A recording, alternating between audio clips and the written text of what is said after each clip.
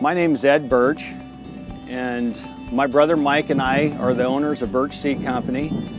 We've been in business since 1979. As you look around here, we have multiple warehouses. Uh, we have five uh, loading areas, we have five docks, we have uh, multiple buildings with different product lines.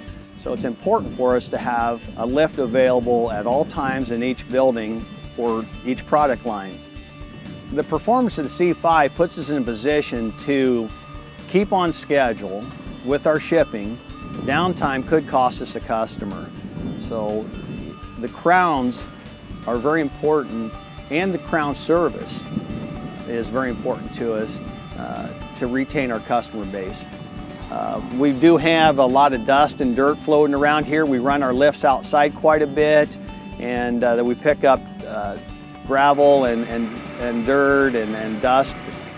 And the crowns seem to be more, uh, a lot less problems on the uh, radiators of overheating and uh, you know, downtime, it, it, not just here at Burtch Seed, but anywhere, it's just, it's a terrible thing for business and, and uh, we just haven't had any problem with the crowns at all.